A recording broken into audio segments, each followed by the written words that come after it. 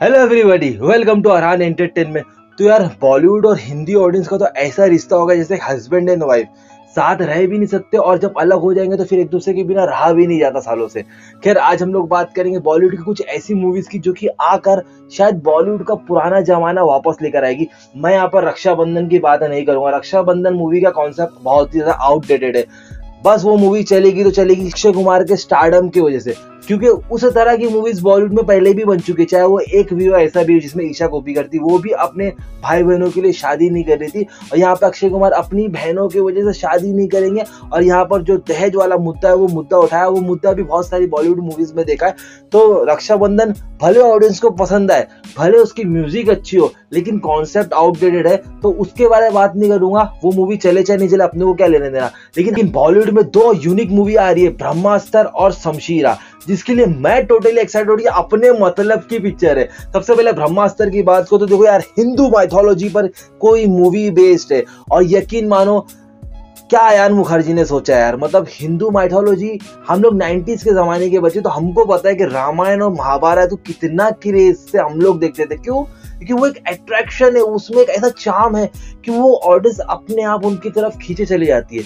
और जितना हमें किसी दूसरे धर्म के बारे में, मैं एक मुस्लिम हूँ तो मुझे ऐसा लगता है कि जैसे हम दूसरे धर्मों के बारे में जानते हैं तो हमको पता चलता है कि उनके जो लोग हैं, जब वो लोग आइडलाइज करते हैं उनके भगवान को तो वो उनके भगवान को क्यों मानते हैं? और उनके देवी देवताओं के साथ क्या हुआ था? क्यों ये लोग उनको इतना पूछते हैं? तो बहुत सारी चीज़ें जानने को मिलती है। और अस्त्र वर्ष यानी कि ब्रह्मास्त्र में जो जो अलग तरह के अस्त्र बताए मुझे नहीं पता था कि इतने अस्त्र है, इतने अस्त्रों को देवी देवताओं ने किस तरह से यूज़ करे, और कौन से अस्त्र को कौन से देवी देवताओं ने यूज़ किए थे, और कौन से ऐसे अस्त्र है जो सिर्फ़ एक ही बार यूज़ होते हैं। और कौन से ऐसे अस्त्र है जो जो दुश्मन है? वो दुश्मन भी उतना कैपेबल होना चाहिए कि उसके लिए ये अस्त्र यूज़ करे। तो ऐसी बहुत सारी जानकारी है, मुझे गूगल से मिली है, लेकिन मैं चाहता हूँ कि मुझे ब्रह्मास्त्र मूवी से मिले। और ब्रह्मास्त्र मूवी के ट्रेलर में वो सब कुछ देखने को मिला, जो एज अ फ़ैन मैं चाहता था कमाल का वी एफ़ मिला एक्टर्स बहुत ही बढ़िया, चाहे वो रणबीर कपूर हो, आलिया भट्ट हो, और खबर तो ये भी है कि भाई इसके अंदर शाहरुख खान एज विलन हमें नज़र आने वाले हालाँकि ट्रेलर में ये चीज़ आपको देखने को मिलती है, ये ऐसा लगता है कि शाहरुख खान है, लेकिन अगर ऐसा होता है तो फिर तो भाई बवाल होने वाला और अमिताभ बच्चन और हमारे नागार्जुन सर को कौन भूल सकता है? तो जो मूवी में इतने बड़े बड़े एक्टर हो और इतना गजब का कॉन्सेप्ट हो वो मूवी बॉलीवुड को कम नहीं करेगी तो कौन सी करेगी? हाँ भाई मोनी रॉय की बात करो तो भाई वो सस्ती थी स्कारलेट भी लगती है, लेकिन कोई बात नहीं, हम लोग उसको इग्नोर करें, क्योंकि हमको पता है कि मूवी में मेन विलन मोनी रॉय नहीं है। मेन विलन तो कोई बड़ा स्टार ही होगा भाई। जो रिवेल हमें या तो मूवी के एंड में होगा या तो फिर सेकंड पार्ट में होगा, क्योंकि इसको तीन पार्ट में बनाने वाले हैं। फ़िलहाल मैं बहुत ही एक्साइटेड हूँ, ब्रह्मास्त्र के ट्रेलर को देखकर।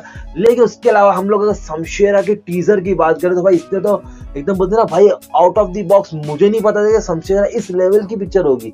सिर्फ़ टीजर नहीं आतंक फैला दिया सोचो मूवी आएगी तो क्या करेगी? अगर रणबीर कपूर के लुक की बात करो तो भाई मुझे द रेवेनेंट मूवी की याद आ गई। वही अपने रेवेनेंट मूवी जिसमें टॉम हार्डी और लेनार्डो डी कैपियो थे। अगर आप लोगों ने नहीं देखी तो भाई जाके ज़रूर देखना। बहुत ही गजब की मूवी थी द रेवेनेंट और, और कहीं ना कहीं रेवेनेंट मूवी भी अलग अलग ट्राइब्स देखने को मिली और इस पर्टिकुलर शमशेरा मूवी में भी हमें ट्राइब्स ही देखने को मिलेगी।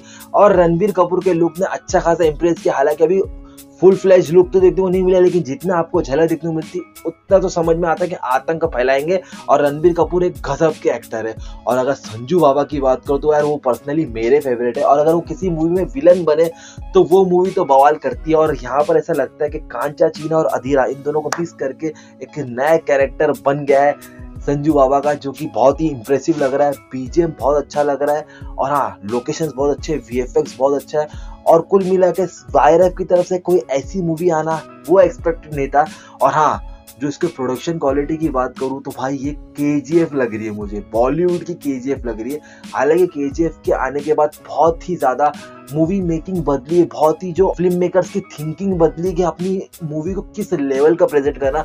हालाँकि बॉलीवुड वाले ऐसी बड़ी बड़ी मूवीज़ बना चुके हैं, लेकिन इस लेवल की वो जो मैडमैक्स हो या के हो या द रेवेनेंट वाली वाइब्स है, अब जाके बॉलीवुड में है। तो आप लोग कितने सहमत हो मुझसे? मुझे कमेंट सेक्शन में ज़रूर बताना। आपको क्या लगता है कि शमशेरा और ब्रह्मास्त्र ये दोनों ही मूवी बॉलीवुड को कम करेगी या नहीं करेगी ऑडियंस के दिल में, ये मुझे कमेंट सेक्शन में ज़रूर बताना। आप लोग कितने एक्साइटेड हो? वो भी बता सकते हो और किस मूवी के लिए हो, वो भी बता सकते हो। मिलता है नेक्स्ट वीडियो में। दिल देन बाय